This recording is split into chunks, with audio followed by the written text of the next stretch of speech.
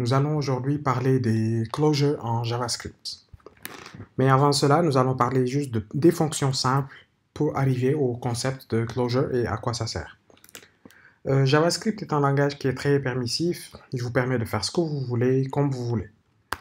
Donc nous allons définir une petite fonction que nous allons appeler euh, add, qui prend deux arguments x et y.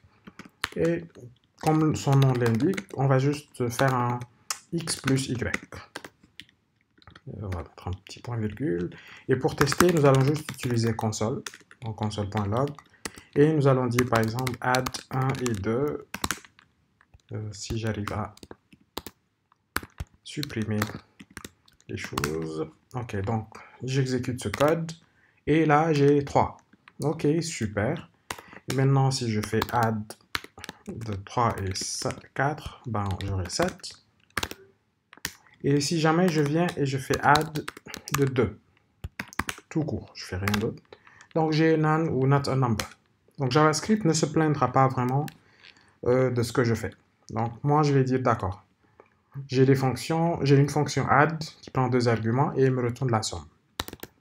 Maintenant moi j'ai envie d'avoir une fonction qui, j'ai envie de pouvoir envoyer un seul attribut à cette fonction ou un seul argument à cette fonction add et elle s'occupe du reste. Donc je vais enlever le, y de là et je vais dire d'accord, je vais le définir plus haut et dire j'ai var y égale par exemple 0. Et là, si j'exécute le code, ben ça marche. Pourquoi? Parce que quand je vais appeler la fonction add en lui passant le x, en exécutant le code, il va faire x plus y. Mais vu que y est défini plus haut, il le trouve, donc il l'utilise. JavaScript utilise ce qu'on appelle lexical scope. Ça veut dire tout ce qui est défini plus haut que la ligne où vous êtes ou la ligne qu'il est en train d'exécuter, c'est quelque chose qu'il voit, c'est quelque chose qui est dans son scope, c'est quelque chose qu'il peut utiliser. Tant qu'on est dans un scope global, bien sûr, et on verra les différents scopes plus, plus tard ou dans d'autres vidéos. Donc, quand JavaScript arrive à cette ligne, il a besoin d'un x. OK, le x, il l'a reçu par argument. Et y, oui, y a déjà été défini plus haut. Donc, c'est super, il y a accès. Et puis, un autre développeur, un peu plus loin dans le code, il vient et il, redéfinit var y et il lui donne 13. Maintenant, quand j'exécute le code, qu'est-ce que je suis censé avoir? Est-ce que y est censé avoir sa première valeur 0 ou sa deuxième valeur 13 Exécutons pour voir. Et là, malheureusement, on voit que le y a changé de valeur. Donc, le add 2 qui nous donnait plutôt, il nous donnait 2 plus 0, donc 2. Maintenant, il nous donne 15. Parce que la valeur de y a changé quelque part. Oui, mais on a dit tout à l'heure que le lexical scope, c'est tout ce qui a été défini avant nous. Donc, normalement, le y qui a été défini après cette ligne ne devrait pas être là. Ben, malheureusement, non. JavaScript utilise quelque chose qu'on appelle le hoisting. Hoisting, si j'arrive pas l'écrire. Hoisting. C'est quoi hoisting? Donc, toutes les choses qui ont été déclarées, par exemple, en utilisant var, il va les déplacer et les mettre tout à fait en haut. Donc, avant l'exécution, c'est comme si on avait y défini plus haut que la fonction add, même si on l'a déclaré et défini plus bas. Donc, le fait que le hoisting existe en JavaScript, ça fait que, ok, c'est pas super cool, on va override les, les, valeurs que nous avions déjà prédéfinies. Une solution à ça serait d'utiliser juste let, ne pas utiliser var et utiliser let. Et quand vous allez essayer de, de faire cette même bêtise, il va se plaindre et il va vous dire Identifier already has been declared. Euh, ok, donc utiliser let peut régler le problème. Sauf que pour des raisons politique ou économique ou d'autres, vous décidez de ne pas utiliser let et vous voulez rester dans votre utilisation de var. Comment faire pour que ce y ne soit pas redéfini? Donc là, on a dit qu'il est dans le scope global. Si on veut qu'il soit dans un scope et on ne peut pas le redéfinir, on va dire par exemple là, si on le déplace à l'intérieur de la fonction add je réexécute, donc là, malgré le fait que y a été redéfini plus, plus tard, ça n'a pas eu d'impact. Sauf que nous, on voulait que le y soit configurable, donc on le veut en dehors de la fonction add. Ce qu'on peut faire maintenant, c'est mettre le tout dans une nouvelle fonction. On va l'appeler fn. fn ne prend aucun argument. Tout ce qu'elle fait, c'est ça. Ben, on va aligner. Et si on fait cela, ben, add n'existe plus. Il n'est plus visible de l'extérieur. On va quand même, on va appeler la fonction euh, fn. Mais fn ne prend pas d'argument, donc on va enlever le 2 et on va exécuter. Undefined. Ben rien. Undefined, c'est quoi? Euh, C'est l'un des huit types, de, des huit types basiques qu'il y a dans JavaScript. Et tout ce qu'il veut dire, c'est, OK, je sais que cette chose existe, mais elle n'a pas de valeur. Donc moi, je vais faire un return ici pour que le retour de cette fonction ait une valeur.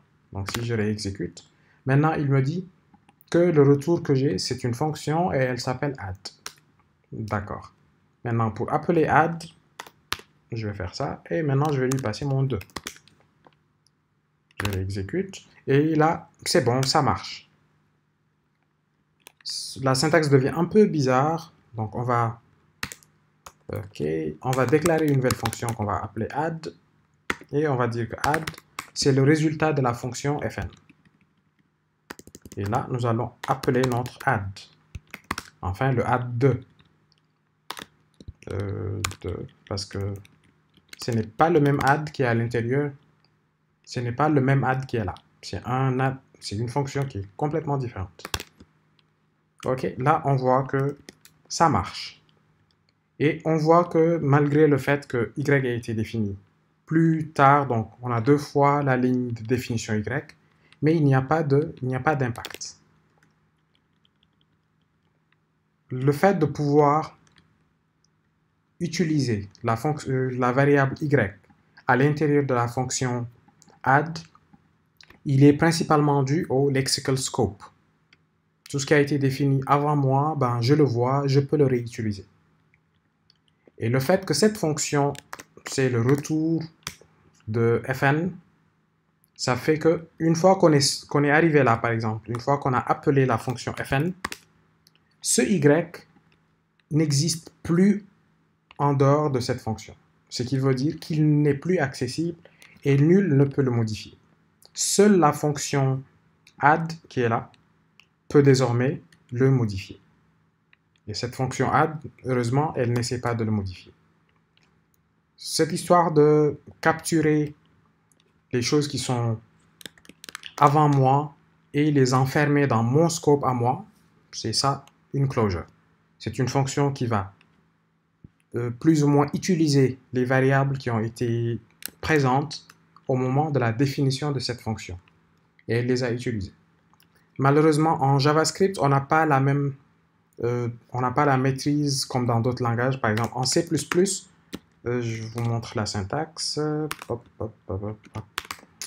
voici comment on peut définir une, closure ou une lambda.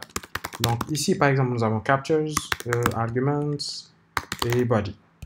Ça veut dire quoi, captures, arguments et body? Ici, dans, en C++, on aurait pu dire « je veux capturer la variable y ».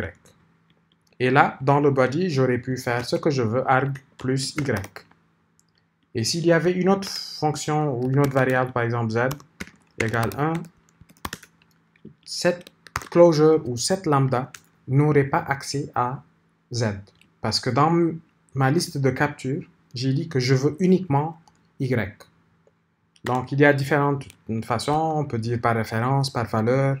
Je peux lui dire prends tout par référence, prends tout par valeur, ou ne récupère que le pointeur. Donc, j'ai toutes les,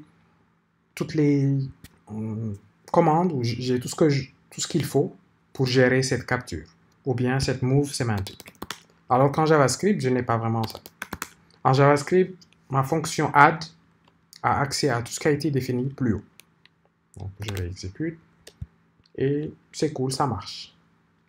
Et le fait qu'une fonction en JavaScript puisse retourner une autre fonction, ce n'est pas quelque chose qui est très compliqué ou, bizarre, parce que les fonctions en JavaScript, ce sont des first-class citizens. Ce sont des types qui peuvent être reçus en argument et qui peuvent être retournés comme résultat. Donc, une closure, c'est aussi simple que ça. Rien de plus.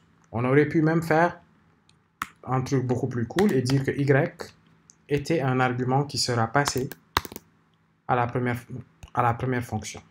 Ce qui veut dire que là, add, je vais lui donner par exemple 0. Et je réexécute. J'ai toujours le même résultat.